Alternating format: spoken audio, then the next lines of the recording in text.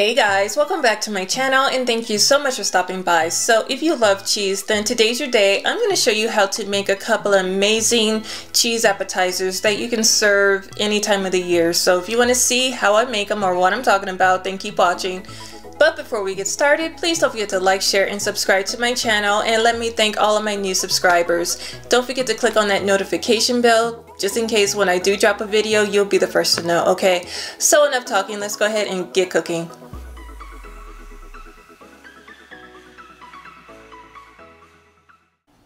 So this cranberry cream cheese log is going to be really simple to make. So the first thing I have is a half a cup of chopped nuts. And right now I'm just going to take a knife and just run it through it because I thought the nuts were a little bit too big and I wanted to make them a little smaller. So that's what I'm doing. And I really love walnuts, one of my favorite things to snack on. So I'm going to set these to the side and get started chopping a half a cup of pecans. And yeah, just run my knife through it and make sure that these are uh, smaller pieces as well.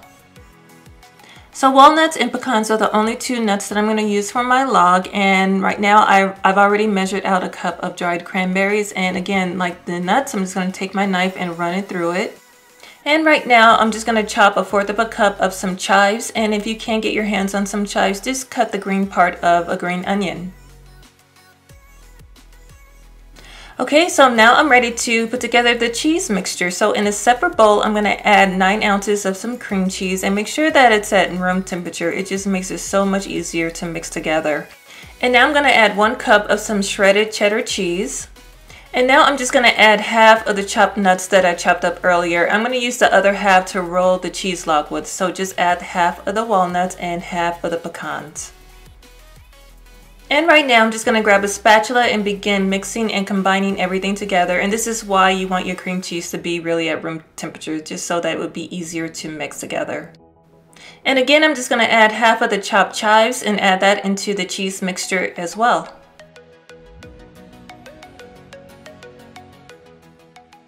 And at the very end, I'm going to take half of the dried cranberries and add that and take the spatula and fold that in as well. And you know what, give it a good taste test. If you want to add some, you know, salt or pepper, I personally didn't need it, but if you want it, you can add that at this point. Okay, so that's it. Those are all the ingredients I'm going to use. Just very simple, simple ingredients. So at this point, I'm just going to take a plastic wrap and I'm just going to take the cheese and I'm going to add it to the plastic wrap. And make sure you add it all. Don't miss anything. And now you just want to wrap the cheese mixture with the plastic, as you can see.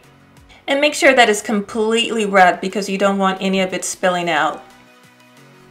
And now you want to take your fingers and begin rolling and molding your cheese mixture into a log.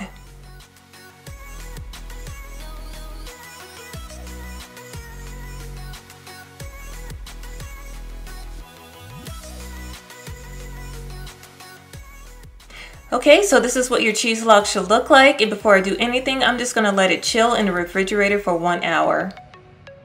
Now let's get started on the next cheese appetizer and it's a baked feta cheese. Now I'm gonna take three big garlic cloves and I'm gonna separate it from the paper and I'm just gonna take my knife and just roughly chop it. It doesn't have to be perfect. You can slice it, you can chop it, or you can use um, the already chopped garlic. Me personally, I just like chopping my own garlic, but because I really love garlic, so I'm gonna run my knife through this garlic. And I have a half a cup of sun-dried tomatoes, and I really love sun-dried tomatoes, you guys. I've been using it recently a lot, something I really highly recommend. They're delicious and sweet, and they really go well with cheese. I also have some olives, and these are the olives that I like, stuffed with blue cheese, but you can use whatever olives that you like. Now this is a starter show. I have a block of feta cheese and I have a baking dish and I'm just going to set the feta cheese in the dish. And I went ahead and I measured out maybe around a cup of olives. It just depends on how big your olives are. If you want the smaller ones, you can add more if you like. And once the olives are in, I'm just to go ahead and add the sun-dried tomatoes.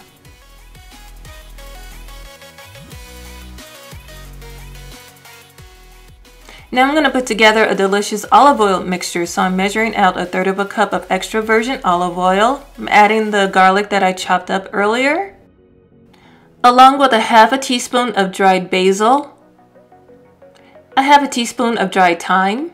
a half a teaspoon of dried oregano, and a half a teaspoon of fresh rosemary. And at the very end, I'm just gonna add a little bit of sea salt and black pepper. And just take a spatula or a spoon and mix everything together. And once it's all mixed together, you wanna take it and pour it all over the feta cheese block.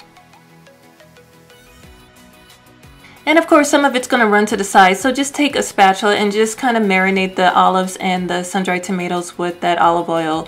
And I've already preheated the oven at 350 degrees and I'm gonna bake it off for 20 minutes.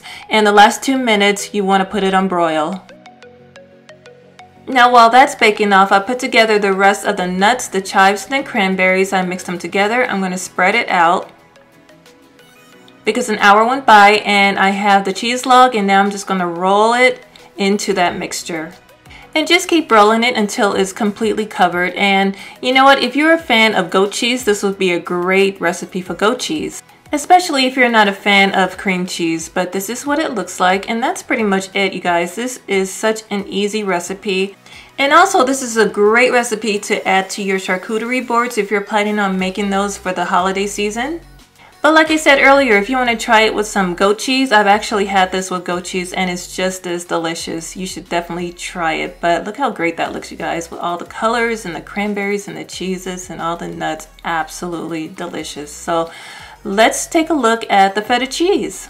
But this is what it looks like straight out the oven. Really delicious and add this to your cheese appetizers as well. Really amazing and super easy. But we are done, you guys. If you enjoyed this video, please give it a big thumbs up. I'd really appreciate it. Share it with everybody you know. Follow me, tag me on Instagram, take a picture. I would love to see it. And if you give these recipes a try, comment down below and let me know what you think.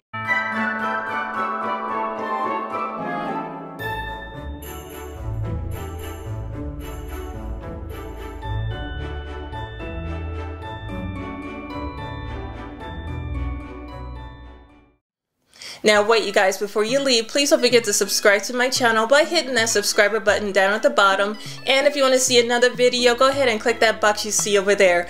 But until then, thank you so much for watching. I love and appreciate you all, and I will see you very soon in my next video. Bye-bye.